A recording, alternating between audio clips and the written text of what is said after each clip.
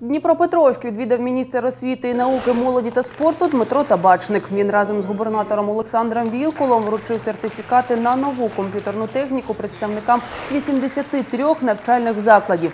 Усього школи регіону отримали понад 1200 сучасних комп'ютерів.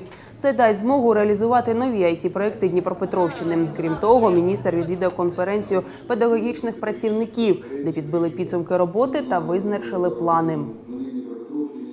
Днепропетровская область абсолютный лидер по IT-технологиям. Это действительно факт. Э, Это единственная область, где все 100% школ области и учебно-воспитательных комплексов, то есть начальная школа, детский сад, полностью подключены к интернету.